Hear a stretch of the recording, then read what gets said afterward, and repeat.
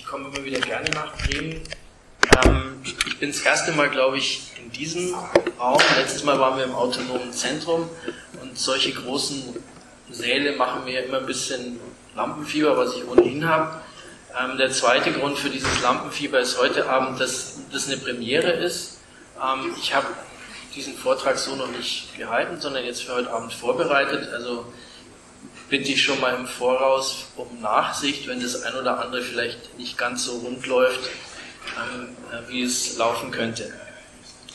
Ähm, ich möchte vielleicht kurz erklären, wie ich zu dem Thema komme.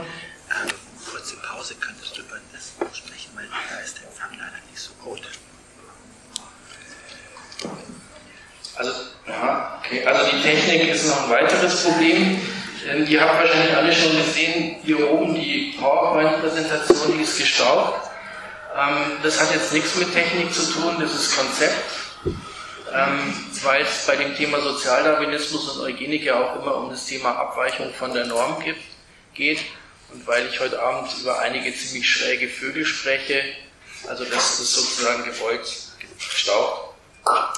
Ähm, zurück, also mh, für mich ist der oder war der Einstieg in diese Thematik liegt schon einige Jahre zurück. Es gab 1995 in der autonomen Szene ähm, vor allen Dingen ausgetragen über die Zeitschrift Interim ähm, eine Diskussion über Tierrechte, Tierschutz, Veganismus ähm, und verbunden eben auch mit einer Auseinandersetzung über die Positionen von ähm, Peter Singer und relativ schnell war klar, dass eigentlich die große Mehrheit der äh, autonomen Szene die Positionen von Singer, zu denen ich nachher noch ein bisschen was sagen werde, ähm, ablehnt. Nichtsdestotrotz war es so, dass Singer im liberalen und linksliberalen ähm, Spektrum und auch in der Linken durchaus auch noch Unterstützung gefunden hat, vor allen Dingen im Umfeld von Leuten, die sonst im, eigentlich mit Themen wie Religionskritik, Kirchenkritik ähm, unterwegs waren. Also dieser internationale Bund der Konfessionslosen und ähm, Atheisten hat sich für ihn reingehängt. 1996 kam oder sollte Singer dann zweimal in Deutschland auftreten, einmal in Heidelberg auf einem Kongress. Ähm, da wurde er wieder ausgeladen, nachdem es heftige Proteste gab von Antifaschisten, von ökologisch orientierten Linken, von feministischen Gruppen und Behindertenverbänden. Und in Köln blieb nur noch übrig eine Pressekonferenz zusammen mit ähm, Alice Schwarzer unter Polizeischutz. Emma und Alice Schwarzer haben sich über die Jahre hinweg als die hartnäckigsten Verteidiger von ähm, Singer erwiesen. Und das war also diese Auseinandersetzung damals ähm, war für mich so ein bisschen der Einstieg. Ich hatte gehofft, dass ähm, das Thema durch ist, zumal es auch in den 80er Jahren eine längere Diskussion schon über Singer gegeben hatte. Er damals nicht in Deutschland auftreten konnte, beziehungsweise er hätte riskiert, dass ihm irgendjemand mit einer Krücke ähm, eins überbrät, weshalb er es vorgezogen hat, ähm, in Wien dann wieder abzudrehen. Aber nein, auf einmal taucht Singer wieder auf ähm, zunächst ist er 2011 von der Giordano Bruno Stiftung mit dem Ethikpreis ähm, geehrt worden. Da gab es dann auch Proteste in Frankfurt. Und inzwischen gibt es einen Förderverein des Peter Singer Preises, der alljährlich den Peter Singer Preis verleiht in Berlin. Dem Verein verbunden ist Stefan Eck, der ursprünglich über die Tierschutzpartei ins Europaparlament gewählt worden ist und heute als Unabhängiger der Linksfraktion im Europaparlament angehört. Also das ist die Fraktion, wo Podemos, Syriza, die Linke und so weiter vertreten sind. Die ähm, Kritik oder die Proteste gegen Singer haben einen guten Grund, weil für diesen Philosophieprofessor und Bioethiker ähm, behinderte, demente und neugeborene Menschen zweiter Klasse sind nicht-Personen mit geringerem Lebensrecht. Er verharmlost Euthanasie als Erlösung für die Betroffenen und ihre Familien und er empfiehlt sie als Methode, um Geld zu sparen. 2015 erklärt Singer in einem Interview, ich möchte keine höheren Beiträge zur Krankenversicherung bezahlen, damit behinderte Kinder, die null Lebensqualität erfahren, teure Behandlungen bekommen. Ähm, also das eine ist Singer mit seiner Anhängerschaft in bestimmten Teilen des Linksliberalismus und der Linken. Das andere ist Thilo Sarrazin, wo man sich streiten kann, ob er zur Linken gehört oder nicht, aber immerhin, er ist SPD-Mitglied und ähm, war Finanzsenator in einer Koalition aus SPD und Linkspartei in Berlin, die in ihrer Amtszeit so ziemlich das brutalste Sparprogramm in allen Bundesländern durchgezogen hat. Unter anderem den Ausstieg aus dem äh, Flächentarifvertrag beim öffentlichen Dienst. Ähm, für mich sind Sarrazin und Singer Wiedergänger eines Sozialdarwinismus, der Ende des 19. Jahrhunderts leider im gesamten politischen Spektrum Anklang gefunden hat. Und ähm, diese, dieser Sozialdarwinismus und äh, diese Eugenik mit den Vorstellungen vom Kampf ums Dasein, vom Überleben der Tüchtigsten, von Auslese und Ausmerze, waren seitdem fester Bestandteil in der völkischen und faschistischen Ideologie. Hitler zum Beispiel nimmt mehrfach in Mein Kampf Bezug auf diese ähm, Vorstellungen. Er spricht vom Kampf ums Dasein als dem aristokratischen Prinzip in der Natur. Und ähm, diese Ideologie führt dann in Deutschland, wie ihr alle wisst, während der Herrschaft des Nationalsozialismus zu ihrer letzten mörderischen Konsequenz der Ausmerze von als minderwertig definierten Menschen. Und bis heute ist diese Ablehnung einer prinzipiellen Gleichheit von Menschen ein Merkmal faschistischer rechter Ideologie. Und das Problem ist jetzt, dass ähm, diese Vorstellungen von Sozialdarwinismus, von Eugenik und als drittes von Neomalthusianismus, ich erkläre das dann alles nochmal, ähm, immer auch Anhänger in der Linken gefunden haben, und zwar mehr oder weniger in allen Strömungen. Also das ist ähm, jetzt kein Kernstück natürlich linker Politik gewesen, aber es ist immer eine Unterströmung, die sich in den verschiedenen Fraktionen, Strömungen der Linken nachweisen lässt, mit unterschiedlicher Intensität und äh, unterschiedlichen Begründungen. Und es ist leider halt auch ein Thema, was ähm, in der Linken jetzt nicht so eine große Rolle spielt, also eigentlich ein bisschen ein blinder Fleck in der linken Geschichte. Ähm, wobei es zum Beispiel über die deutsche Sozialdemokratie durchaus auch ähm, schon eine ganz umfangreiche Aufarbeitung gibt. Ähm, wenn ich jetzt immer von Linke spreche, dann meine ich das jetzt nicht als Gütesiegel, sondern als Sammelbezeichnung für ein Spektrum von linksliberal bis linksradikal, auch in Bezug auf die Verortung und Selbstverortung der Akteurinnen und Akteure. Allen voran Peter Singer, der 1999 dazu aufgefordert hat, eine neue darwinistische Linke zu formieren. Er hat ein ganzes Buch dazu geschrieben, in dem er an die Linke appelliert, grundsätzlich gesellschaftskritische Positionen aufzugeben, insbesondere die Marxische Analyse, und stattdessen biologistische Positionen zu übernehmen. Und ähm, bemerkenswert daran ist eigentlich seine Unwissenheit, weil eine solche darwinistische Linke eigentlich seit dem 19. Jahrhundert äh, mit äh, Ups und Downs immer existiert hat. Ähm, ihr seht jetzt so am, an, der, an der Wand hinter mir ein bisschen das Programm, was ich mir so vorgestellt habe. Wenn ich merke, dass es zu lang wird, werde ich ein bisschen was auslassen und springen. Ähm, aber selbstverständlich besteht die Möglichkeit, dann hinterher in der Diskussion das ein oder andere nochmal ähm, nachzutragen. Ähm, der Ausgangspunkt, also die Vorstellungen vom Kampf ums Dasein, von Ausmerze und Menschenzucht, ähm, stammen nicht von irgendwelchen obskuren, ultrareaktionären rechten Außenseitern, sondern entstanden Ende des, es fängt Ende des 18. Jahrhunderts an, wird formuliert und verbreitet von respektablen Wissenschaftlern, das hängt mit der Ambivalenz der bürgerlichen Aufklärung und der bürgerlichen Revolutionen zusammen. Vor dem Gesetz sind fortan alle Menschen frei und gleich. Die reale Ungleichheit wird übergangen, das ist der eine Punkt. Der nächste Punkt ist, wenn Aufklärer und Liberale von Menschenrechten und Bürgerrechten sprachen, dann meinten sie eigentlich nur weiße Männer mit Besitz. Mit der Folge, dass dann auch ähm, nach diesen bürgerlichen Revolutionen im Regelfall ähm, ein Zensuswahlrecht eingeführt wurde. Das heißt, eine relativ kleine Gruppe von Männern hatten überhaupt das Wahlrecht. Ähm, Immanuel Kant erklärt 1793, warum das so sein muss. Also warum man politische Rechte nicht allen Menschen gewähren kann.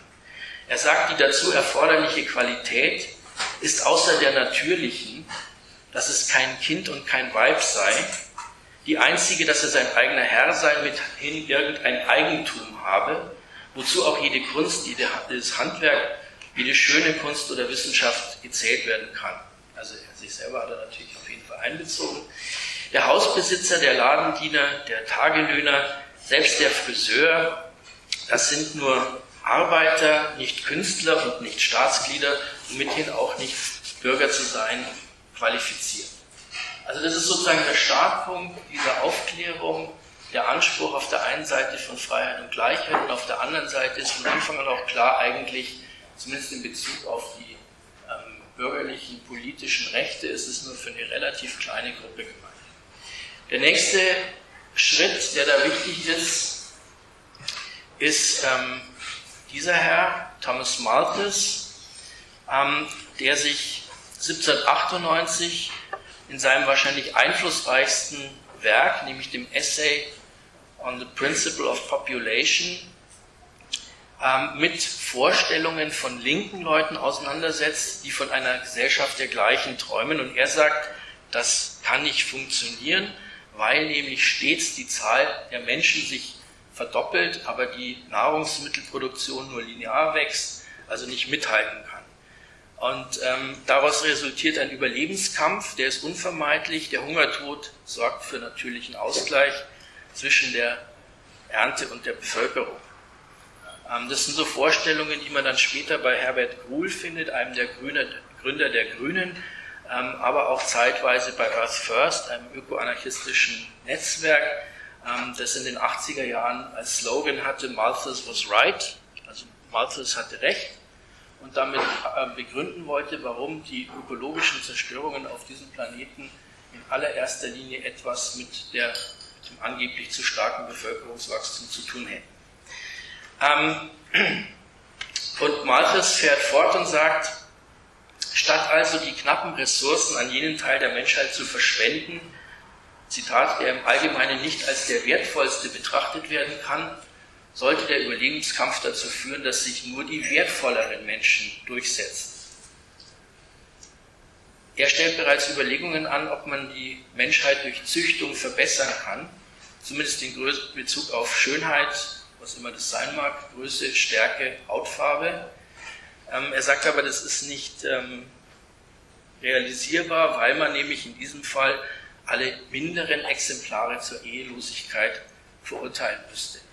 Also ihr seht, 1798 hat Old Pop, das war der Spitzname, den er für dieses, diesen Essay bekommen hat, eigentlich schon die wichtigsten ähm, ideologischen Vorstellungen dessen, was später als Sozialdarwinismus durchgeht, ähm, formuliert.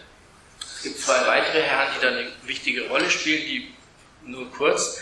Das eine ist der Soziologe Herbert Spencer, von dem dieses berühmte Schlagwort vom Survival of the Fittest stammt. Und das zweite ist der Naturforscher Francis Galton, ein Cousin von Charles Darwin, der den Begriff der Eugenik prägt. Er geht davon aus, dass Menschen unterschiedlich viel wert sind, was sich ähm, zeigt an ihrer Zugehörigkeit zu bestimmten Klassen und Rassen. Galton malt als erster jenes Horrorgemälde aus, das Eugeniker bis heute bewegt wonach sich nämlich die am wenigsten fähigen Menschen zu stark fortpflanzen, während sich die Elite zurückhalte und das würde auf die Dauer zum Niedergang einer Nation oder einer Rasse führen. Ähm und daraus leitet Golden dann die, den Vorschlag ab, dass der Staat interveniert, dass er versucht, ähm, die wertvolleren Angehörigen der Oberschicht zu animieren, durch finanzielle Anreize mehr Kinder in die Welt zu setzen. Ähm, Darwin wiederum liest. Das ist Spencer. Ähm, Darwin wiederum ähm, liest das Buch von Malthus und übernimmt wesentliche ähm, Vorstellungen von Malthus, insbesondere diese Vorstellung vom Kampf ums Dasein, bei dem die Stärkeren überleben sollen. Und ähm, der Punkt ist, dass in seinen Schriften er sich manchmal sehr zurückhaltend, manchmal etwas zweideutig ausdrückt, manchmal eine Position formuliert und im nächsten Satz wieder zurücknimmt. Ich komme da nachher nochmal drauf. Aber ähm, seine Haltungen sind im Prinzip schon glasklar.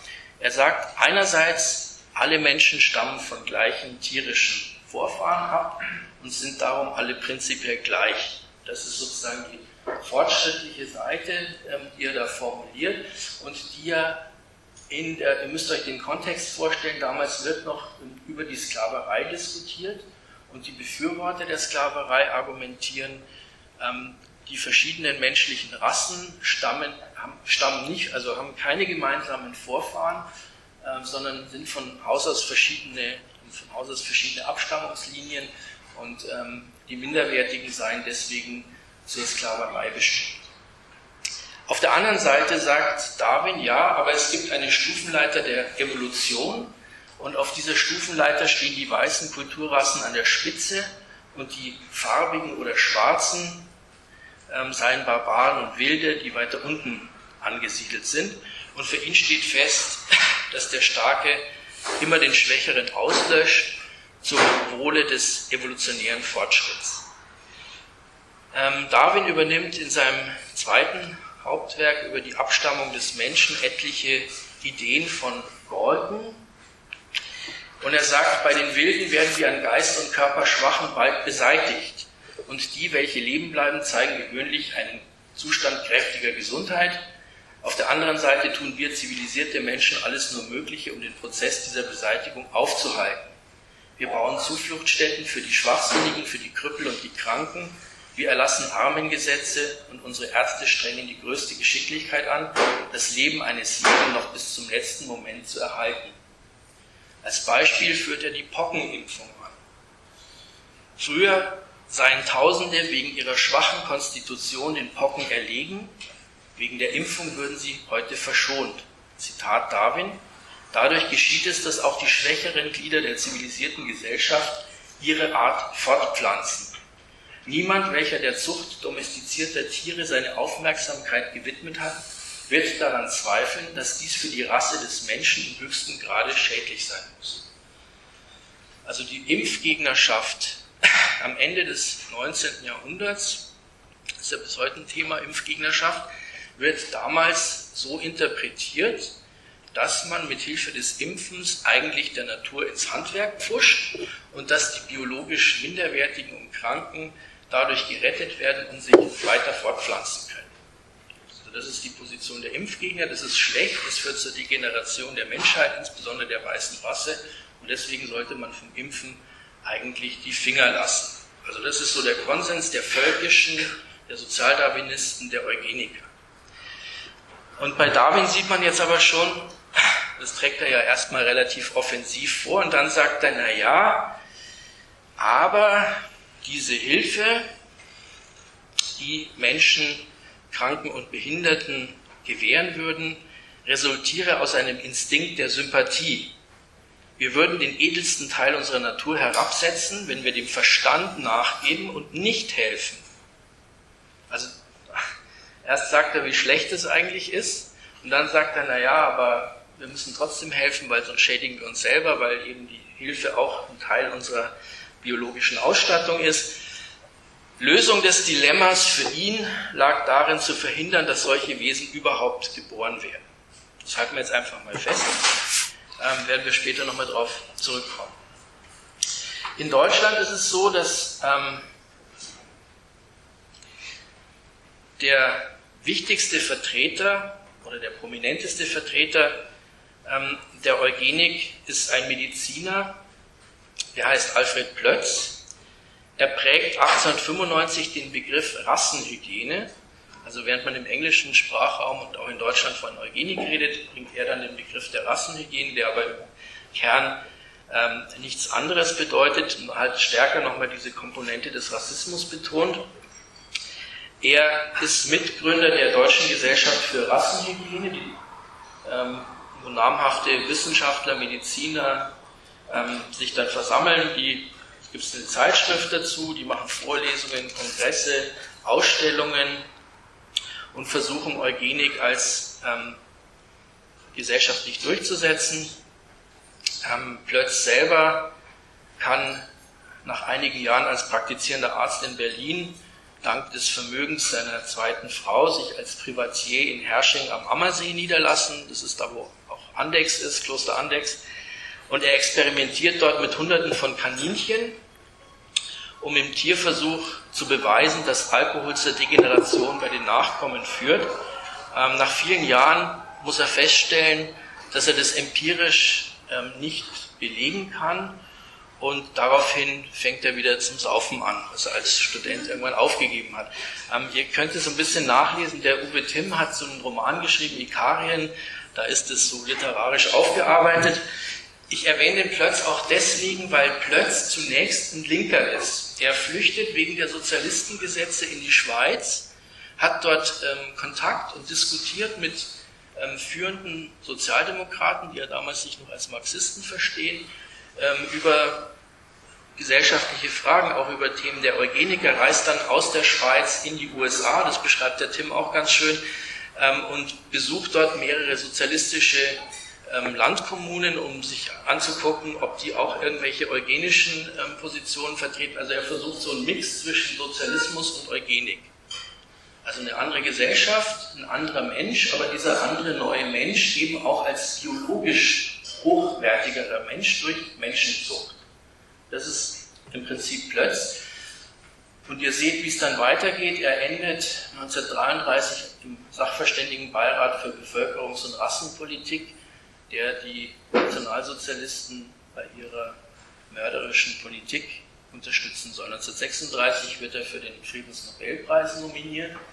Und zwar deswegen, weil diese Rassenhygieniker argumentieren, in einem modernen Krieg, also im, im Grunde genommen sind sie natürlich keine Pazifisten, und sie finden Krieg so lange gut, solange da Männer entweder mit der Faust sich ähm, kloppen oder mit Schwert und Axt und was weiß ich, also solange es einen Kampf Mann gegen Mann gibt, weil dann tritt ja das Prinzip der Auslese ein, der Schwächere unterliegt, aber im modernen Krieg, sagen sie, würde durch die Maschinengewehre, durch ähm, Giftgas und so weiter, ähm, wäre, das, wäre der Krieg eben keine Auslese der Besten mehr, sondern ganz im Gegenteil, die Schwachen und Kranken würden sich vor dem Fronteinsatz drücken und in den Schützengräben die Masse der erbbiologisch wertvollen Männer ähm, krepieren. Und deswegen ähm, argumentieren diese Rassenhygieniker gegen Krieg.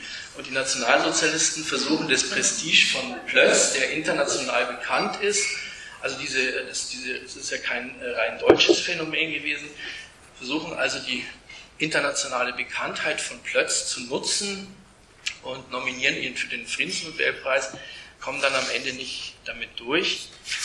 Ähm, aber das ist jetzt eine andere Geschichte. Ich wollte jetzt noch noch mal kurz zusammenfassen, also dieses Sozialdarwinismus, Eugenik, ähm, Basisideologie ist Konkurrenz, Kampf ums Überleben, Ausmerze der Schwachen, Auslese der Starken, Überleben der am besten Angepassten. Ähm, das ist der Motor der Evolution und er führt zur Höherentwicklung der Menschheit. Die moderne Gesellschaft, die moderne Zivilisation durch Hygiene, durch Medizin, durch Impfen ähm, stört eigentlich diesen Mechanismus führt dazu, dass die Schwachen überleben und sich fortpflanzen können, führt also auf Dauer zur Degeneration, zur Herrschaft der Minderwertigen. Das ist sozusagen die Basisideologie ähm, Sozialdarwinismus und Eugenik. Und dann gibt es ähm, daraus abgeleitet die Vorstellungen, was man damit tun kann, wie man damit, wie man dann entgegenwirken kann. Das ist natürlich naheliegenderweise die planmäßige Auslese. Ähm, und zwar, indem man, das ist die sogenannte positive Eugenik, indem man versucht, äh, Männer und Frauen zusammenzubringen, die erbbiologisch wertvoll sind und die maximal viele Kinder zeugen sollen. Das ist der Vorschlag, den Galton schon macht. Ähm, und es gibt die negative Eugenik, ähm, dass man nämlich versucht zu verhindern, dass sich die sogenannten minderwertigen ähm, überhaupt fortpflanzen, notfalls mit Zwang. Und der nächste Schritt, der bereits Ende des 19. Jahrhunderts diskutiert wird, also auch das nicht originell nationalsozialistisch ist, die Euthanasie. ähm, da gibt es also etliche Autoren, die das in den 1890er Jahren schon ähm, fordern, was die öffentliche Diskussion ähm, dann nach dem Ersten Weltkrieg stark voranbringt, sind diese beiden Herren, Karl Binding und Alfred Hoche, mit ihrem Buch Die Freigabe der Vernichtung lebensunwerten Lebens. Also der Begriff des lebensunwerten Lebens, der dann später auch im Nationalsozialismus eine große Rolle spielt, der stammt also schon aus dieser Zeit und aus dieser Diskussion. Die Autoren fordern in diesem Buch, man sollte die Todkranken die Verblödeten, alle diejenigen, die keinen eigenen Willen hätten und keine Gefühlsbeziehungen aufnehmen könnten, ähm, mit Gas oder Gift töten. So, ähm, jetzt ist es so, dass sowohl Malthus mit seiner Vorstellung von der Überbevölkerung von Anfang an auf Kritik gestoßen ist, sowohl im bürgerlichen Lager der David Ricardo sagt, Malthus habe sich eine sehr erfreuliche Formel einfallen lassen, die den, die den Reichen ermöglicht, die Missgeschicke der Armen zu erklären. Andere sagen, der steigende Wohlstand im Zuge der Industrialisierung und die höhere Bildung werden dazu führen, dass die Geburtenzahl absinkt. Das war eine Prognose, die sich dann für Europa als richtig herausstellen sollte. Also der Malthus ähm, lag auch empirisch falsch. Es gab Kritiker aus den Reihen der Frühsozialisten, wie den Robert Owen, und der Marx machte sich über den Malthus lustig und sagt, das Populationsprinzip sei das Werk protestantischer Pfaffen, die unter dem Beifall der Oberschicht von den sozialen Ursachen des Elends ablenken wollten. Wenn Menschen verhungern, so war seit der industriellen Revolution immer öfter offensichtlich, dass es nicht an der Knappheit deren Lebensmittel, sondern deren Verteilung lag, etwa bei der großen Hungerkatastrophe in Irland 1845 folgende, als über eine Million Menschen verhungert sind, wurde gleichzeitig Getreide nach Großbritannien ähm, exportiert. Ähm, und vor diesem Hintergrund haben marxistisch orientierte Sozialisten und Kommunisten die Thesen von Malthus, ähm, aber auch der sogenannten Neomalthusianer, die sich dann später auf ihn beziehen, immer abgelehnt. Ein bisschen anders war die ähm, Aufnahme der Theorie von Darwin. Ähm, fast die gesamte Linke hat enthusiastisch auf die Evolutionstheorie reagiert, was nachvollziehbar ist, weil sie eine solide, wissenschaftlich fundierte und materialistische Erklärung anbot ähm, für die Entwicklung von Pflanzen, Tieren und Menschen. Sie passte zur bürgerlich-liberalen, aber auch linken Vorstellung eines immerwährenden Fortschritts. Und aus antiklerikaler Perspektive hatte sie den Vorzug, dass der Schöpfungsglaube und damit die Vorstellung von der Allmacht Gottes unterminiert wurden. Marx und Engels begrüßten die Evolutionstheorie von Darwin als materialistische Erklärung Engels verglich den kapitalistischen Konkurrenzkampf mit Darwins Formel vom Kampf ums Dasein. Darwin habe für die Naturgeschichte einen entscheidenden Fortschritt erreicht, so wie Marx für das Verständnis der Geschichte, schrieb Engels mehrfach. Allerdings wandte sich Marx strikt dagegen, soziale Fragen mit Hilfe der Evolutionstheorie zu erklären oder sozialdarwinistische Schlussfolgerungen. Die Phrase vom Kampf ums Dasein, so schreibt Marx, sei eine sehr eindringliche Methode, aber nur für gespreizte, wissenschaftlich tuende, hochtrabende Unwissenheit und Denkfaulheit. Ähm, gab noch einige andere, die da scharf ähm, mit Darwin und dem Darwinismus ins Gericht gegangen sind. Der Paul Lafargue zum Beispiel. Der Darwinismus entwickelt sich zu einer Ersatzreligion die Konkurrenz würde in der Natur ausgemacht, um dann im Rückschluss den Kapitalismus zu rechtfertigen. Lafargue ist einer der ersten, der darauf hinweist, dass es ähm, unter Tieren ähm, auch gegenseitige Hilfe gibt.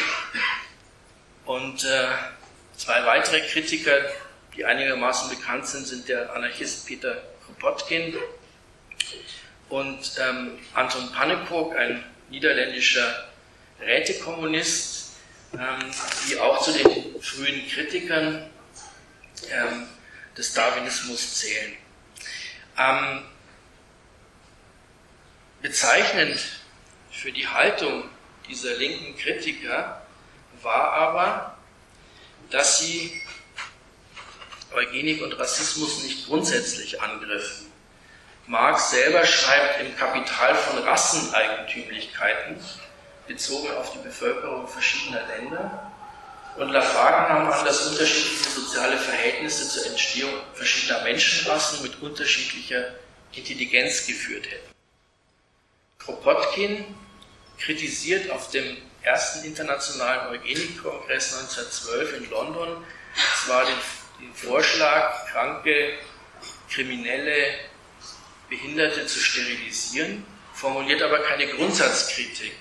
Sein Landsmann, der Journalist Isaac ähm, Schklowski, wahrscheinlich spreche ich es falsch aus, ähm, griff dagegen auf dem gleichen Kongress den Rassismus fundamental an und bezeichnete Eugenik als bestialische Philosophie.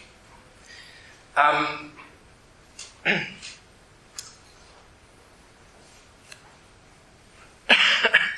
Trotz dieser Kritik von Marx, von Engels und anderen ähm, gab es in der SPD sehr viele Anhänger ähm, von darwinistisch-sozialdarwinistischen Vorstellungen, und zwar sowohl auf dem rechten Flügel bei den sogenannten Revisionisten, also den Reformern, als auch bei dem, in der Mehrheitsfraktion der sogenannten marxistischen Orthodoxie um August Bebel und Karl Kautsky. Die Reformisten oder Revisionisten leiteten aus Darwins Evolutionstheorie die Vorstellung ab, dass auch der Übergang zum Sozialismus langsam und evolutionär stattfinden also die haben versucht, mit Hilfe von Darwin zu begründen, warum man eigentlich keine Revolution machen braucht. Völlig überflüssig. Kann nicht funktionieren, wird ein langsamer Prozess. Die Orthodoxen dagegen sagten, die Revolution werde sich von selbst einstellen, wie ein Naturgesetz, als Zusammenbruch des Kapitalismus. Kautsky, der Chefideologe dieses marxistischen Zentrums, prägte damals die, die Formel, die SPD sei eine revolutionäre, aber keine Revolutionen machende Partei. Das ist eine, die wartet nur darauf, dass sich die Naturgesetze äh, von selbst erfüllen. ähm, völlig im Bann der Eugenik stand der schon erwähnte Karl Kautsky und der war immerhin sowohl der Chefideologe der SPD als auch der zweiten Internationale, also diesem Zusammenschluss von sozialdemokratischen und sozialistischen Parteien. Ähm, 1910 schrieb Kautsky in einem Buch mit dem Titel Vermehrung und Entwicklung in Natur und Gesellschaft, die körperliche Entartung der Menschheit schreite rasch voran. Schuld seien die schlechten Lebensbedingungen unter dem kapitalistischen Regime, soweit kann man ihm ja noch folgen, aber auch die moderne Technik. Besonders die Medizin störe das Gleichgewicht in der Natur, mindere die Anforderungen des Kampfes und des Daseins und erleichtere damit körperlich und geistig minderwertige Individuen nicht bloß die Erhaltung, sondern auch die Fortpflanzung. Also ihr seht hier in dieser Passage von Kautsky die typische Argumentation sozialistischer Eugeniker. Sie gehen davon aus, wie die Bürgerlichen und Rechten auch, es gibt eine Degeneration der Menschheit. Nur haben sie im Unterschied zu den Bürgerlichen und Rechten dafür zwei Erklärungsansätze. Das eine sind die Bedingungen, kapitalistischen Lebens- und Arbeitsbedingungen, was man gut nachvollziehen kann, was auch richtig ist.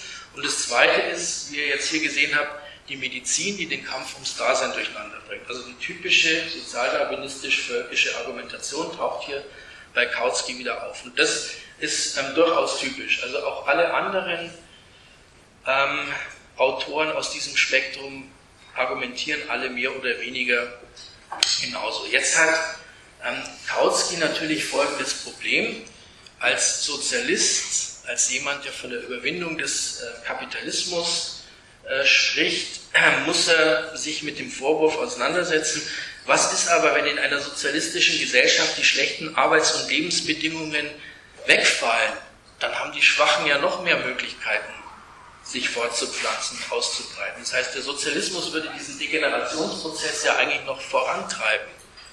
Das ist ein Einwand, den er in diesem Buch ähm, diskutiert und er sagt, ja, das ist richtig, aber im Sozialismus wird dem entgegengearbeitet, er lehnt staatliche Zwangsmaßnahmen ab und er setzt auf soziale Kontrolle. In einer künftigen sozialistischen Gesellschaft werde Rassenhygiene als soziale Pflicht des Proletariers gelten. Die öffentliche Meinung und das Gewissen der Beteiligten würden im Rahmen einer Sozialeugenik dafür sorgen, dass sich Leute, die sich nicht völlig gesund fühlen, beraten lassen und auf Kinder verzichten. Zitat, die Zeugung eines kranken Kindes wird dann mit ähnlichen Augen betrachtet werden, wie heute noch die Zeugung eines unehelichen Kindes. Sprich, die Eltern werden verfemt, wenn sie sich nicht diesem sozialen Druck beugen. Ähm, kämen dennoch kranke Menschen zur Welt, fährt Kautsky fort, wird ihr Siechtum nicht mehr die Schuld der sozialen Verhältnisse sein, sondern einzig und allein die persönliche Schuld der Eltern. Im Endergebnis werde im Sozialismus ein neues Geschlecht erstehen, stark und schön und lebensfreudig wie die Helden der griechischen Heroenzeit, wie die germanischen Recken der Völkerwanderung. Also nur um jetzt da nicht eine falsche Gewichtung reinzukriegen, nicht jeder Sozialdemokrat, der von Darwin begeistert war, war Sozialdarwinist und Eugeniker. Aber ihr seht an diesen Beispielen schon, dass es eben in der sich als marxistisch verstehenden Sozialdemokratie vor dem Ersten Weltkrieg eine Menge Leute gab, die solchen Vorstellungen anhingen und dass das eben mit Leuten wie Kautsky durchaus prominente Figuren waren. Ähm, nach dem Ersten Weltkrieg, der Niederlage Deutschlands, der ökonomischen Krise ähm, und aber auch andererseits der Möglichkeit der SPD jetzt an Regierungen auf Landes- und Reichsebene beteiligt zu werden, nimmt das Ganze Fahrt auf. Sowohl die preußische Landtagsfraktion als auch die Landesregierungen der SPD in Thüringen und Sachsen brachten in der Weimarer Republik Initiativen zur Sterilisierung von ähm, Behinderten, von Geisteskranken ein. Vorbild waren ähm, die USA, wo seit 1907 in einzelnen Bundesstaaten solche Menschen zwangsweise sterilisiert wurden. Der Wilhelm Högner, ähm, der in, von der SPD in Bayern hochgehalten wird, weil er der erste und einzige sozialdemokratische Ministerpräsident in Bayern war nach 1945, ähm, bringt im Reichstag einen Gesetzentwurf ein. Er malt den Notstand der Gesellschaft an die Wand, weil geistig minderwertige und Gewohnheitsverbrecher sich aufgrund ihrer ungezügelten Triebe ähm, vermehren und besonders viele Nachkommen in die Welt setzen würden. Als die SPD 1931 im Reichstag die freiwillige eugenische Sterilisation fordert, bekommt sie die Unterstützung der NSDAP. Ähm, ja, ich man könnte einige Leute aufzählen, die äh, in die gleiche Richtung argumentiert haben. Ich erwähne eine Frau, die Otta Ohlberg.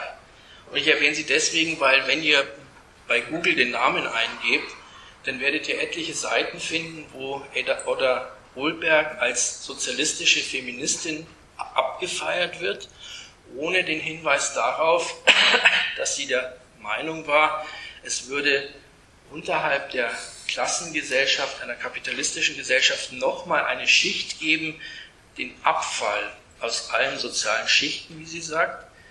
Olberg forderte in einer sozialistischen Gesellschaft das Tötungsverbot aufzuheben, selbstverständlich um den Kranken Leid zu ersparen.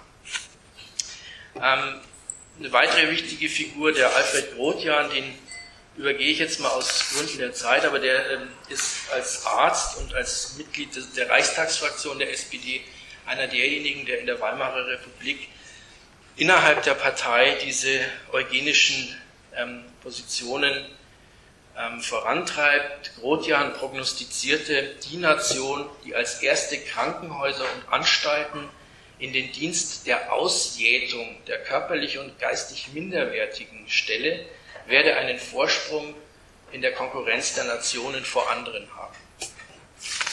Ähm, in Schweden spielen eine wichtige Rolle die Alva Myrdal und ihr Mann, Gunnar Myrdal. Ähm, sie Soziologin, Politikerin, Sozialdemokratin, Friedensnobelpreisträgerin. Der Gunnar Myrdal, ein angesehener Ökonom, der dann irgendwann in den 70er Jahren auch noch einen Nobelpreis bekommen hat als Ökonom, der sich bereits in, in seiner Dissertation scharf von der Arbeitswertlehre von Marx abgrenzt. Die Myrdals befürworten als Sozialdemokraten eine kapitalistische Ordnung, die sozialstaatlich reguliert werden sollte.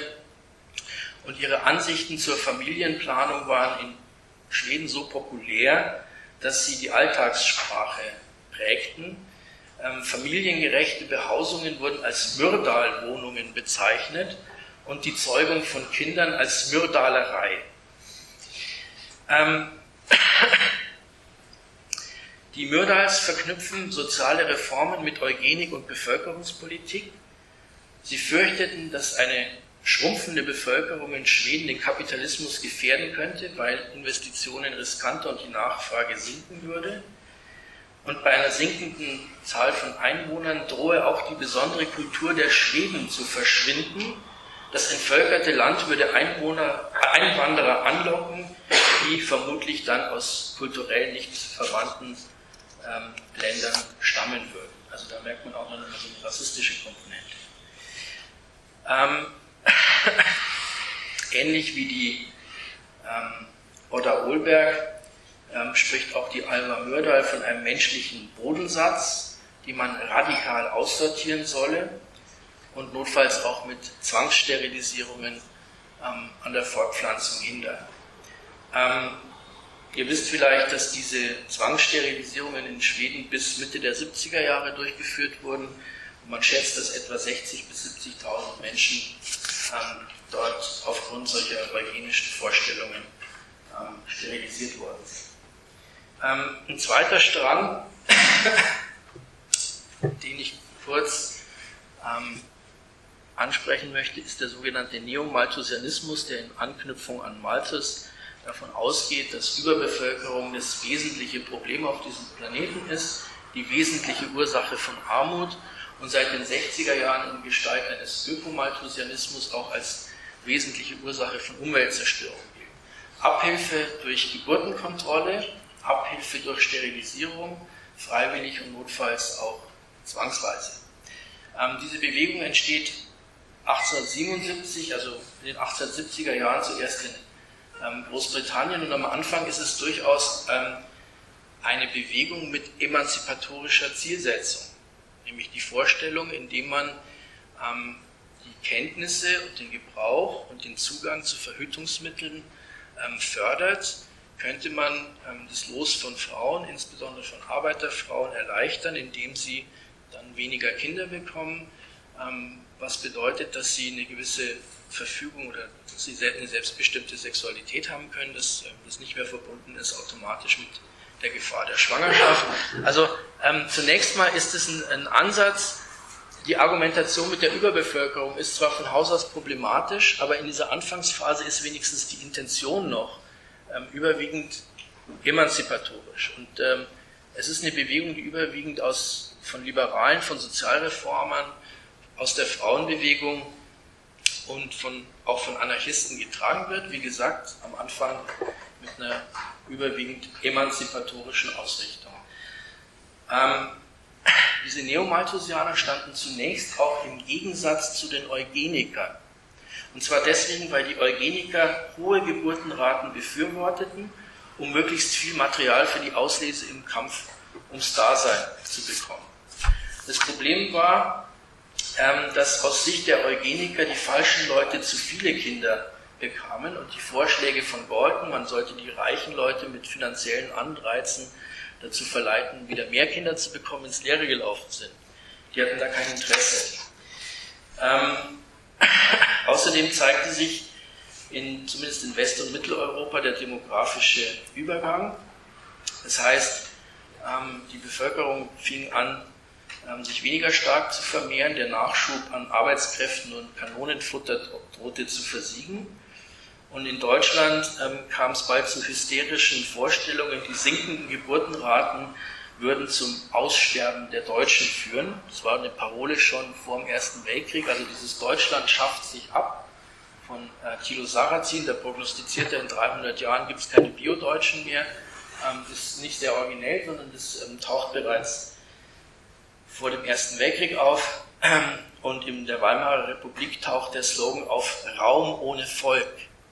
Also Volk ohne Raum ist relativ bekannt, diese Parole. Und es gibt, gab auch die Umkehrung, ähm, Raum ohne Volk, die Vorstellung, die Deutschen sterben aus, die fruchtbareren Slawen würden die Deutschen allmählich aus ihren angestammten Gebieten im Osten verdrängen. Ähm, vor diesem Hintergrund näherten sich Eugeniker und Neomalthusianer an. Das gemeinsame Schreckensszenario lautet, in Europa und Nordamerika vermehrt sich eine Unterschicht der Minderbegabten und Schwachen stärker als die Ober- und Mittelschicht. In globaler Perspektive drohen die Farbigen, die Weißen zahlenmäßig zu überwinden, zu überflügeln und damit deren koloniale Herrschaft zu untergraben.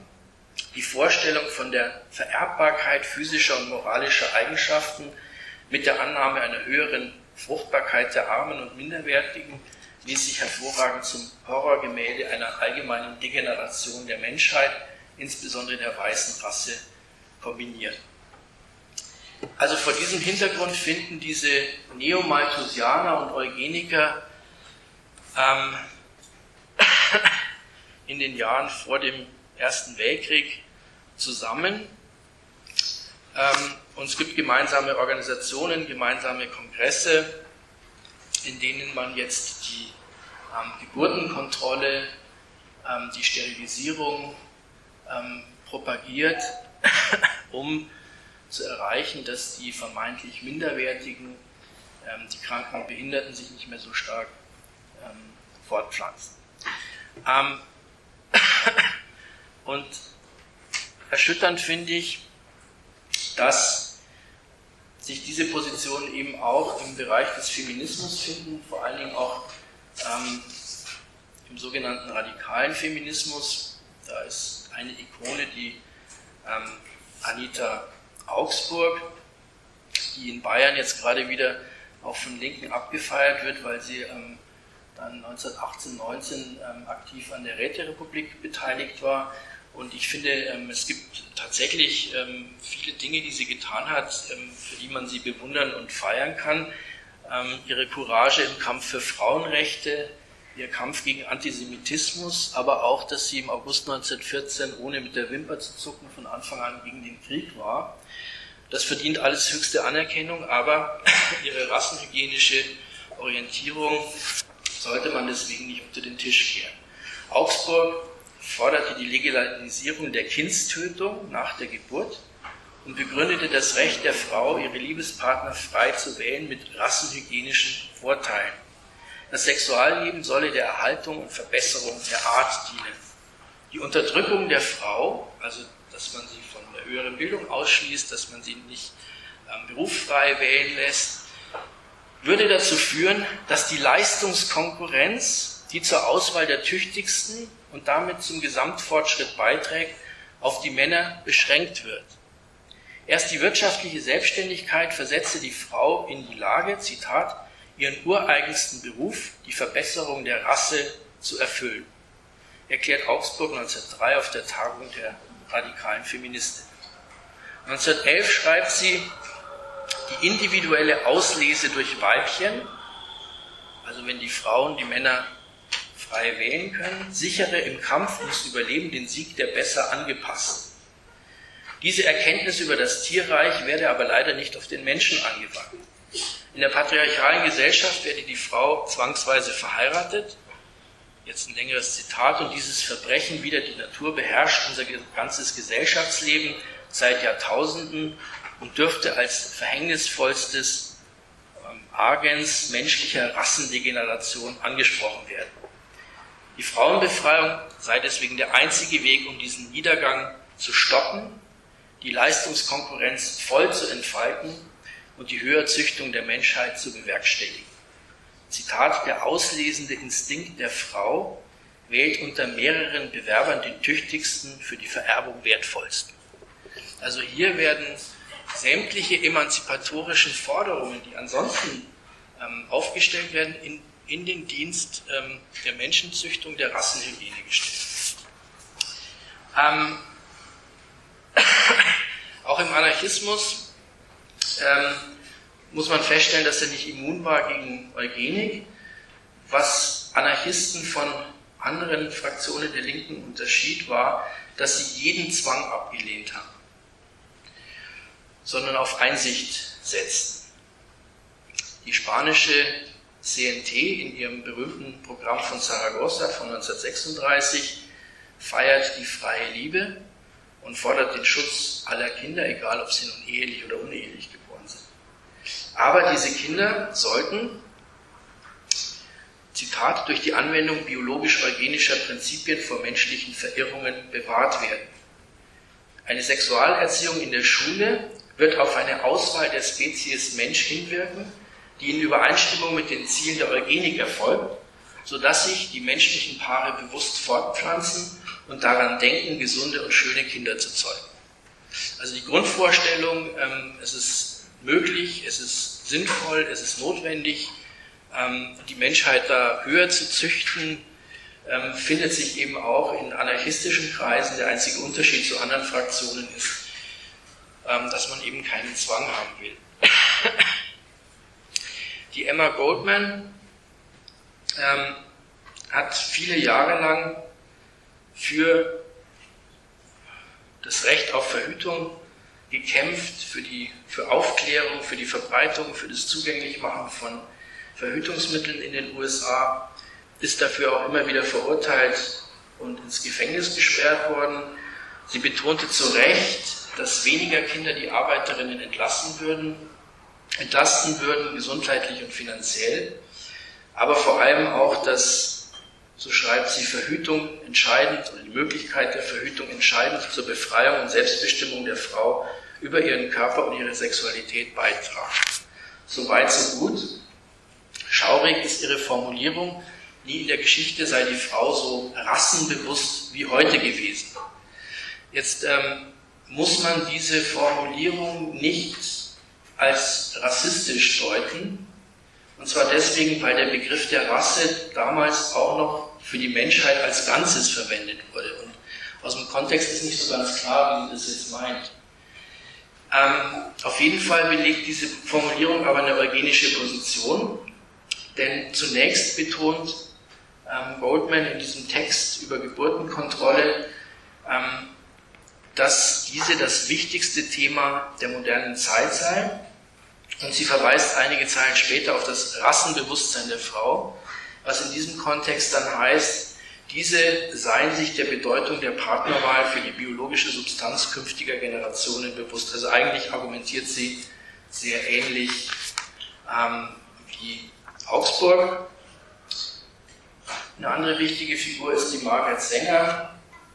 Die war Gründerin der American Birth Control League, die Planet Parenthood Federation und die, der internationale Arm, der bis heute in über 170 Ländern aktiv ist, gehen auf ihre Initiative zurück. Sänger startet als Mitglied der Sozialistischen Partei in den USA, die sind ihr bald zu lahm. Sie wechselt zu den äh, ähm, Wobblies, also der ähm, anarchosyndikalistisch-rätekommunistischen militanten Gewerkschaftsorganisation, ist Organisatorin bei einigen der legendärsten Streiks in den USA, ähm, konzentriert sich dann nach kurzer Zeit auf das Thema der Geburtenkontrolle, zunächst auch mit diesem emanzipatorischen Anspruch, also als Beitrag, äh, um die Selbstbestimmung ähm, von Frauen zu fördern. Aber ähm, nach einiger Zeit, vor allen Dingen nach einer längeren Reise nach Europa, wo sie mit verschiedenen linken Eugenikern in Kontakt kommt, dreht sie völlig ab, orientiert sich ähm, an der bürgerlichen Oberschicht und vertrat immer offen, offene, knallharte eugenische und rassistische Positionen. Die geistesschwachen und fehlerbehafteten würden sich notorisch vermehren. Sie stellten eine Gefahr für Rasse und Nation dar und dieses Zitat erstickende menschliche Gestrüpp drohe die Menschheit zu überrennen. Ähm, jetzt haben wir die Sozialdemokraten, die Anarchisten und die jetzt zuletzt noch die Kommunisten. Auch da gab es einige, die sich aufgeschlossen zeigten, wobei auch bei den Kommunisten zwei Sachen klar waren. Erstens, ähm, Zwang gegen bestimmte Gruppen wurden abgelehnt und man lehnte auch die Vorstellung ab, dass ähm, man an der Klassenstruktur irgendeine biologische Wertigkeit ablesen könnte. Also die Vorstellung, die Arbeiterklasse sei besonders äh, biologisch minderwertig, haben Kommunisten wie auch Sozialisten und Anarchisten abgelehnt. Ähm, ich will auch da, um es ein bisschen abzukürzen, mich auf eine Ikone ähm, beschränken, nämlich die Alexandra Kollontai, die bis heute als Ikone des kommunistischen Feminismus gilt, die Befreiung der Frau, die freie Liebe propagierte und später Stalin als Diplomatin treu dienen sollte. Kollontai forderte, die Beziehungen zwischen Mann und Frau auf Freiwilligkeit und Gleichheit zu gründen, aber jedes Individuum müsse sich dem proletarischen Kollektiv unterordnen. Das Arbeiterkollektiv solle sowohl die Mutterschaft als auch die Beziehungen zwischen Eltern und Kind regeln im Interesse des Arbeitskraftbedarfs der sozialistischen Ökonomie. Außerdem forderte sie, und da geht es jetzt in den Bereich der Eugenik, eine geschlechtliche Zuchtwahl im Interesse der Rasse und wollte die Beziehung zwischen den Geschlechtern per Gesetz regeln, auch im Interesse der, Zitat, Gesundheit und Hygiene von Nation und Rasse, wie sie 1920 in einem Artikel über die neue Moral und die Arbeiterklasse schreibt. Eine andere Fraktion, die sich vor dem Zweiten Weltkrieg als Sozialisten, manche sogar als Marxisten und Bolschewisten verstand, ähm, war eine Gruppe von international renommierten Genetikern und Eugenikern.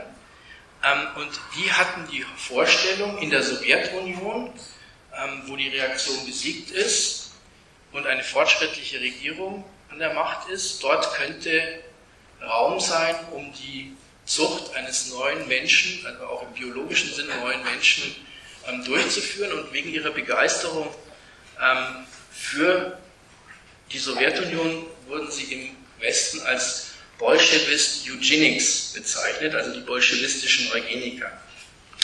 Einer davon war dieser Herr, das ist der Julian Huxley, der aus einer angesehenen britischen Familie stammte, ähm, Direktor des, der britischen Eugenischen Gesellschaft dann später war, Direktor des Londoner Zoos ähm, Mitgründer des World Wildlife Fund, also er gilt auch als einer der Väter der modernen ähm, Umweltbewegung.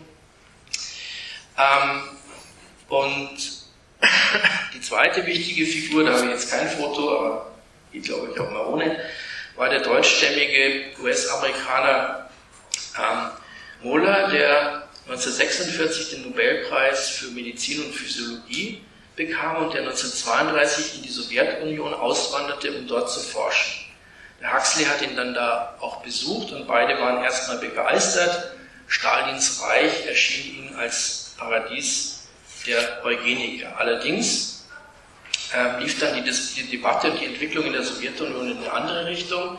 Ähm, relativ bald mussten sich die Eugeniker, also auch in der Sowjetunion gab es eine eugenische Gesellschaft, die ist 1920 gegründet worden, und es gab eine Reihe von Eugenikern, die ähm, zusammen mit ihren westlichen Kollegen die Vorstellung hatten, in der sozialistischen Gesellschaft den neuen Menschen zu züchten. Die kamen öffentlich unter Druck. Eugenik wurde als bourgeoise Ideologie grundsätzlich kritisiert und 1936 verwarf das Regime die, Genetik grundsätzlich als bourgeoise und faschistische Ideologie. Ähm, der Biologe Lysenko setzte sich mit der Ansicht durch, dass erworbene Eigenschaften vererbt würden. Also da wurde es grundsätzlich bestritten, dass die genetische Ausstattung auch nur irgendeine äh, Relevanz hat. Und diese Vorstellung ist während des Stalinismus ähm, Staatsdoktrin gewesen und mit dieser Begründung wurden dann alle weiteren Versuche ähm, beendet und Leute wie der Mullah und der Huxley waren fortan von der Sowjetunion nicht mehr begeistert. Die hat also nicht Stalins Terrorregime gestört, sondern der Umstand, dass sie dort ihre Experimente nicht fortsetzen konnten. Die große Stunde dieser bolschewistischen Eugeniker schlug erst nach 1945 und zwar im Westen, weil sie diejenigen waren, die ähm, nach dem Ende des Faschismus die Rassenhygiene entnazifiziert haben. Sie waren da besonders geeignet, deswegen, weil sie schon vor dem Zweiten Weltkrieg auf Distanz zu den älteren Vertretern ihrer Disziplin gegangen sind. Die haben 1939 in Edinburgh, also einige Tage vor Ausbruch des Zweiten Weltkriegs, ein genetisches Manifest ähm, publiziert, unterschrieben publiziert. In dem wenden sie sich gegen Rassenvorurteile. Sie lehnen die Vorstellung ab, dass Klassen genetisch bedingt sind, aber sie sagen, es gibt ein Geburtsrecht auf Chemie. Man sollte Menschen selektieren vor der Fortpflanzung nach Intelligenz, Charakter, Gesundheit und Sozialverhalten. Also was die gemacht haben, war, dass sie sich praktisch von dem rassistischen, von dem faschistischen Zweig der Eugenik ähm, distanziert haben, abgetrennt haben und ähm, trotzdem aber an der Eugenik, also sozusagen an einer entnazifizierten Eugenik festgehalten könnte jetzt, das lasse ich aus Gründen, aus Zeitgründen raus, es hat auch was mit bestimmten ähm, wissenschaftlichen Entwicklungen zu tun, vor allen Dingen der Muller hat ähm, mit, der Frucht, mit Fruchtfliegen experimentiert und hat festgestellt, dass durch Mutationen ständig viele neue Erbinformationen entstehen und dass die männlichen Erbgesetze allein, also die, die Erbausstattung, die man hat und die Kreuzung, ähm, dass die alleine nicht erklären können, ähm, wie sich ähm, Tiere, Pflanzen und eben Menschen entwickeln. Und ähm, die gingen dann davon aus, dass ähm, also immer mehr Menschen eigentlich Mutanten sind, ähm, auch wenn man sie ihnen nicht ansieht, und dass daraus eine genetische Bürde für die gesamte Menschheit entstünde, die man mit Hilfe von Eugenik bekämpfen müsste. Das war die Perspektive, die in den 50er, 60er Jahren annehmen. Der Huxley als ähm, Umweltschützer agitiert dann gegen Atomkraft, weil er sagt, dass ähm, Radioaktivität treibt diese Mutation noch weiter voran und verstärkt damit die genetische Bürde. Ähm, Huxley ist dann später auch der erste Generalsekretär der UNESCO und versucht es als Plattform zu nutzen, um auf internationaler Ebene diese ähm, scheinbar jetzt demokratisch nicht rassistische Eugenik zu rehabilitieren. Weil der Begriff Eugenik so verpönt war, prägt Huxley dafür den Begriff des evolutionären Humanismus und, auf diesen, und auch den Begriff des Transhumanismus. Und deswegen beziehen sich heute sowohl die Transhumanisten als auch die evolutionären Humanisten auf Huxley und seine Begrifflichkeiten. Er lässt aber, Huxley lässt ähm, bis zum Schluss ähm, keinen Zweifel daran, dass er davon ausgeht, Menschen sind fundamental ungleich aufgrund ihrer erbbiologischen Ausstattung. Es gibt höher und minderwertig äh, ausgestattete und man müsste die selektieren, man muss die minderwertigen an der Fortpflanzung hindern und die höherwertigen fördern. Also er hält an diesem gesamten Programm der Selektion und der Menschenzucht fest. Ähm, und wir haben jetzt äh, die Situation auf der ähm, Ebene von ideologischen Diskussionen, dass es auf der einen Seite diesen sogenannten Transhumanismus gibt, auf den gehe ich jetzt auch aus Zeitgründen nicht weiter ein, auch weil der in Deutschland, obwohl es hier eine, sogar eine transhumane Partei gibt, ähm, bis jetzt keine wirklich, kein wirklich wichtiger Faktor ist. Wichtiger ist diese Giordano Bruno Stiftung und ihr Umfeld. Da gehört der Internationale Bund der Konfessionslosen und Atheisten dazu, der Alibri Verlag, und noch etliche andere, die sind an Universitäten mit ähm, Basisgruppen vertreten. Es ist keine Massenorganisation, aber sie ist wichtig und vor allen Dingen ist es auch eben ein, eine, sowohl die Stiftung als auch ähm, das Netzwerk, was da dazugehört, ähm, ist eben in vielen Bereichen aktiv, die für die Linke wichtig sind. Also wenn der Papst nach Deutschland kommt und es gibt eine linke Kampagne oder linke Aktivitäten dagegen, dann ist es meistens die Giordano Bruno Stiftung oder vorher die IPCA gewesen, die das koordiniert hat, die diese Bündnisse stark geprägt hat.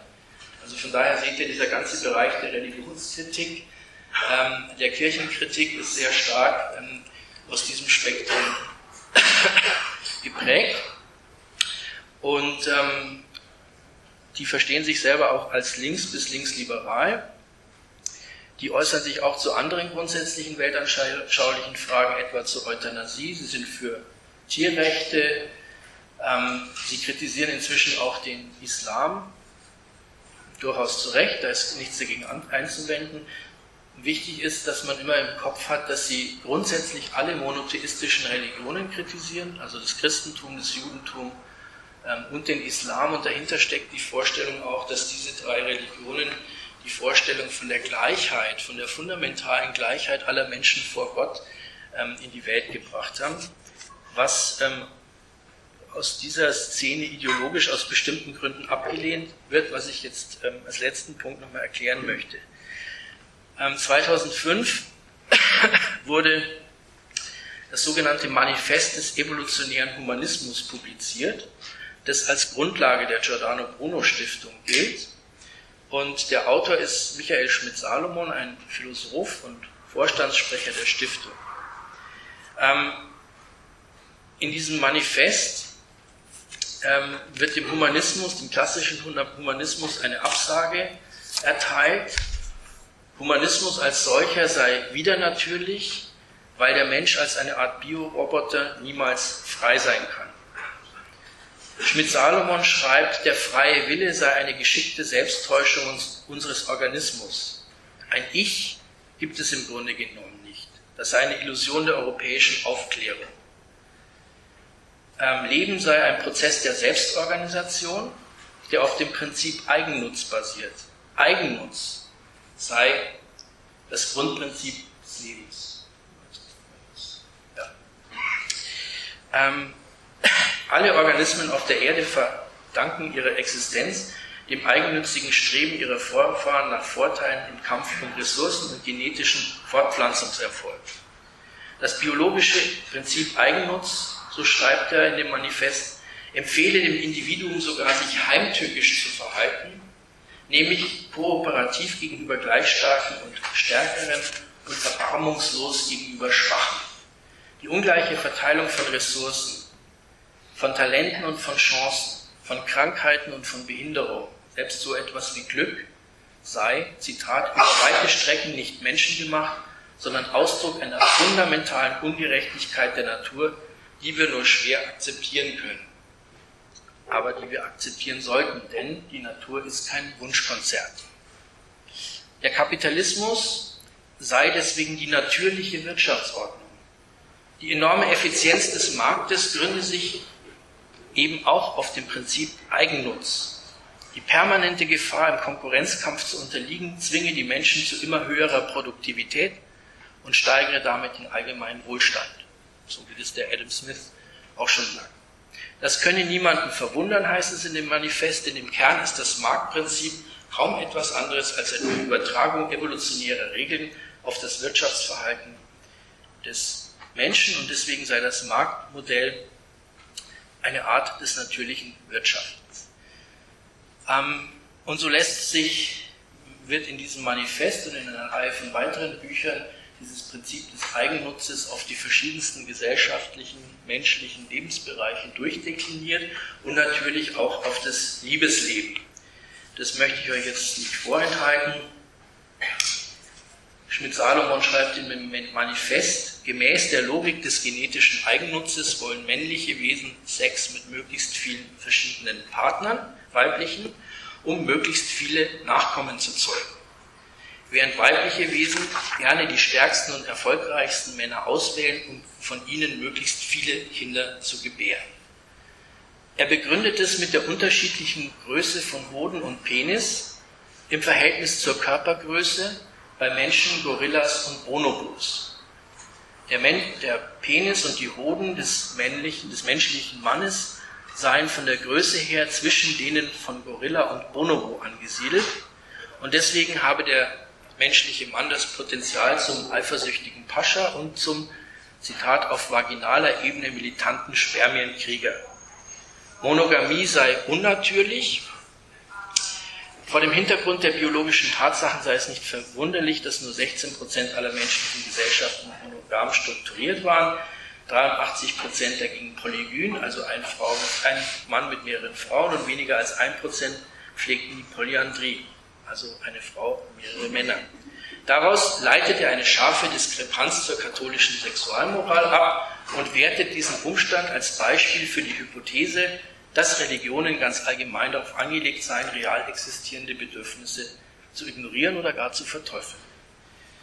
Wenn er nicht den eurozentristischen Tunnelblick hätte, dann wäre ihm aufgefallen, dass gerade eine der von ihm verteufelten monotheistischen Religionen ähm, die Polygamie durchaus vorsieht. Ähm, zum anderen ist es sicher richtig, dass die meisten Menschen im Laufe ihres Lebens ihre sexuellen Wünsche auf mehr als eine andere Person richten. Einigermaßen unumstritten dürfte aber auch die Feststellung sein, dass entgegen der Annahme eines maximalen Verbreitungsdranges die meisten bemüht sind, Schwangerschaften möglichst oft zu vermeiden.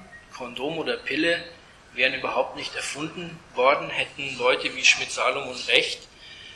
Ähm, und diese maximale Verbreitung wäre sozusagen genetisch verankert.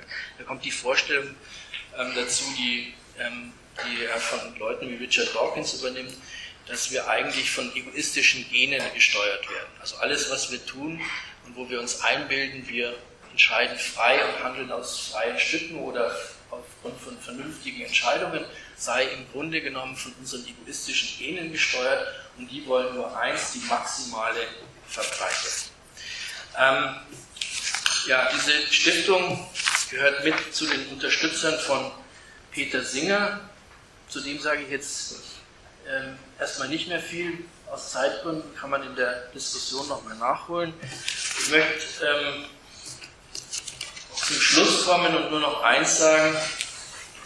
Ähm, bei all diesen ideologischen Debatten und ähm, Vorstellungen, sowohl in der Vergangenheit wie in der Gegenwart, stehen und standen im Hintergrund immer Kosten-Nutzen-Abwägungen im Gesundheits- und im Sozialbereich vornehmen. Die Ökonomisierung läuft einerseits darauf hinaus, alte, behinderte und kranke Menschen auszugrenzen und andererseits heute Menschen zu Rohstoffen und Versuchskaninchen für die neuen Gen- und Biotechnologien zu degradieren. Die Äußerungen von Singer passten damals schon zu einer internationalen Offensive von Wissenschaftlern, die unter dem Schlagwort Bioethik Eigentums- und Nutzungsrechte an menschlichen Körpern sichern wollten. Dabei sollten moralische Hemmschwellen abgebaut werden. Es gab in den 90er Jahren dann heftige Auseinandersetzungen um diverse Bioethikkonventionen. Ähm, bei den prominenten Genetikern und Genforschern gibt es lautstarke Verfechter von Menschenzucht und Auslese. Ähm, sie wollen das Erbgut neu programmieren, um Krankheit, Alter und Tod zu überwinden oder das menschliche Bewusstsein als, als Datei in der Cloud abzuspeichern. Craig Venter sieht den Menschen als Genverdopplungsmaschine und chemischen Apparat. Er möchte eine Ära des biologischen Designs eröffnen, eine neue Phase der Evolution anbrechen. Ähm, ein anderer, der auch immer wieder in der Presse ist, George Church, möchte neue Lebewesen im Genlabor schaffen als Gebrauchsgegenstände und er möchte den Neandertaler als Klon wieder auferstehen lassen. Ähm, manches ist natürlich Science Fiction, manches wird sich so wahrscheinlich nicht ähm, verwirklichen lassen, aber längst werden in Laboren Hybride und Chimären aus tierischem und menschlichem Erbmaterial hergestellt. Menschen können sich dank Präimplantationsdiagnostik den Nachwuchs nach Augen- und Haarfarbe und Geschlecht aussuchen. Ähm, Im Herbst 2016 berichteten die Medien über das erste Drei-Eltern-Baby. Da wurden zwei Eizellen verschmolzen und mit einem Spermium befruchtet für ein bis dahin kinderloses Paar aus Jordanien. Und im gleichen Jahr starteten Forscher das ähm, Genome Project Right, um das menschliche Erbgut aus künstlicher DNA nachzubauen. Im Rahmen oder der Rahmen für das, was da sozusagen auf der ideologischen Ebene verhandelt wird, stellen die Bestrebungen des Kapitals dar, mit Hilfe von Digitalisierung, Gen- und Reproduktionstechnologie Körper, Körperteile und Körperfunktionen von Menschen direkt zu verwerten. Die Durchsetzung der Fabrikgesellschaft bedeutete die Subsumption der menschlichen Arbeitskraft und das Kapital. Die neuen Technologien zielen nun auf eine direkte Subsumption der Körper selbst. In jedem Fall ist eine ethisch-moralische Abwertung des Menschen und seiner Fähigkeiten oder auch von bestimmten Gruppen von Menschen dabei nützlich, wenn nicht notwendig. Und das ist genau die Funktion, die solche Diskussionen haben. Inwieweit solche Vorstellungen verwirklicht werden, hängt von gesellschaftlichen Kräfteverhältnissen ab, von Protest und Widerstand. Das wiederum hängt davon ab, inwieweit solche biologistisch-sozialdarwinistischen Vorstellungen in der Gesellschaft verbreitet ist. Darum ist es wichtig, sich mit solchen Positionen auseinanderzusetzen. Und da, glaube ich, gibt es auch einen wichtigen Unterschied zu früher, ähm, also zur Situation vor 100 Jahren, nämlich, dass es im Gefolge dann der neuen Linken, der Ökologiebewegung, der zweiten Frauenbewegung ähm, immer mehr Gruppen gab, die sich intensiv mit diesen ganzen Positionen wie Eugenik, ähm, Malthusianismus kritisch auseinandergesetzt haben und da auch dagegenhalten. Und ob die letzten Konsequenzen solcher Ideologien gezogen werden, entscheidet sich in der Regel in Krisenzeiten. Alexander Mitscherlich und Fred Milke schrieben, als sie sich mit den Verbrechen der nationalsozialistischen Medizin auseinandersetzten, Zitat, ehe ungeheure Taten den Alltag so bestimmen und monströse Gedanken Leitziel für das wirkliche Leben werden, muss das Verhängnis aus vielen Quellen seinen Lauf genommen.